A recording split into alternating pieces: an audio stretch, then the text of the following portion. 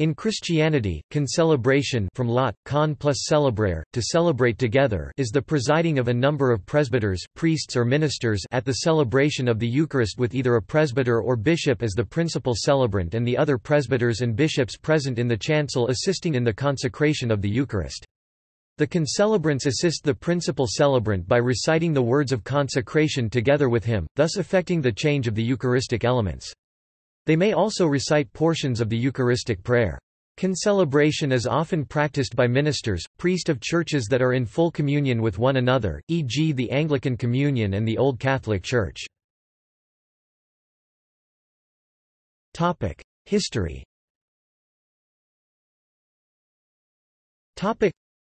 Concelebration is and has always been common in Eastern Christianity, but in the Roman Catholic Church the practice fell into disuse for several centuries but has been revived with the liturgical reforms of the Second Vatican Council as dictated in the document Sacrosanctum Concilium. Theologians Orlando O. Espín and James B. Nickoloff write that Eucharistic concelebration has ancient roots Hippolytus, apostolic tradition, early 3rd century and was practiced primarily as a sign of ecclesial unity of the local church and of union with other churches when Eucharistic hospitality was offered to visiting bishops or presbyters.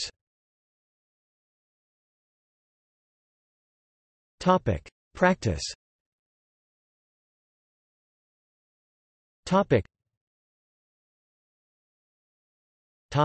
Roman Catholic Church it is known from early Christian art uncovered through archaeology that concelebration took place in the early Church in the West, although it is not known precisely when it fell into disuse. It is known that the practice gradually came to be reserved for the greater festival days and other solemn occasions. Columba of Iona, in the 6th century, is recorded to have been requested by a visiting Irish bishop in disguise to celebrate Mass with him. The 619 Council of Seville ordered that priests could not concelebrate Mass with a bishop present. According to Pope Innocent III R.1198-1216 the cardinals in Rome still concelebrated with the Pope on certain feast days. It is known that from the medieval period particularly following the Black Death when Masses for the dead celebrated daily by all priests became the norm, with the exception of the Sundays. By the Second Vatican Council there were only two occasions when concelebration took place in the Roman Rite. 1. At the ordination of a priest, where the newly ordained concelebrated with the ordaining bishop, and 2. At the consecration of a bishop, when the newly consecrated bishop concelebrated with the consecrating bishop. The liturgical reforms which took place following the Second Vatican Council included the provision for the return to the practice of concelebration of Mass. An example of studies in the immediate post-conciliar years regarding the matter of this liturgical practice is the volume of essays by a distinguished group of Roman Catholic churchmen Burkhard Neunhäuser et al., titled Théologie et pratique de la concelebration Maison Mame, 1967, translated from the Italian original, La Concelebrazione, which Edizione Queriniana had published. Thus, communities with more than one priest could have several priests concelebrate the Eucharist rather than each celebrating it in private, emphasizing its communal nature. Liturgical law allows concelebration on any occasion, but it is more common on feasts, especially those at which the bishop traditionally presides, such as the Chrism Mass on Maundy Thursday.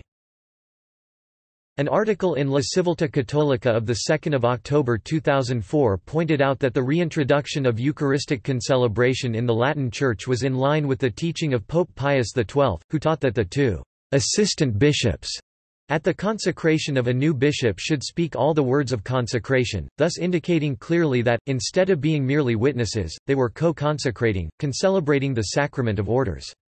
He applied the same rule to concelebration of the Eucharist at that time in use only at ordination to episcopacy and to priesthood in his talk of the 22nd of September 1956. Topic: Anglican Communion. Topic: Traditionally concelebration was not practiced or at all permitted in Anglican churches. However, recently, the Protestant Episcopal Church of the United States's prayerbook directs other clergy to stand with the celebrant at the altar, joining in the consecration of the gifts, breaking the bread, and distributing communion. References.